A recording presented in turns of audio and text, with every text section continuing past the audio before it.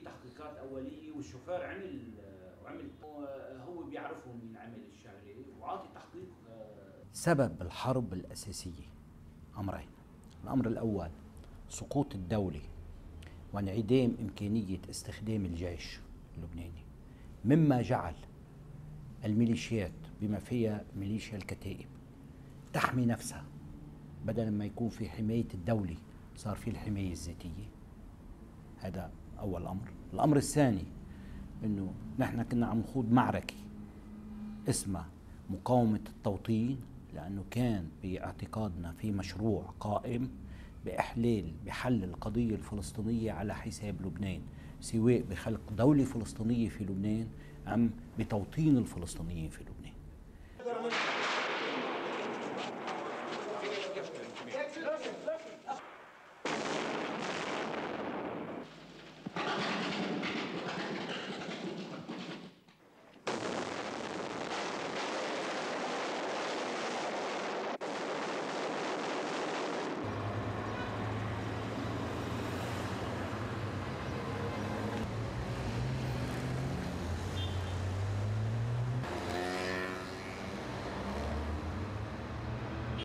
إذا ظلت الأهواء وظل التطرف متحكما في نهج السلطة خاصة وفي بعض ردود فعل المعارضة فسندفع الثمن غاليا مرة أخرى ولم نعد قادرين على دفع ثمن سيكون على حساب لبنان وشعبه.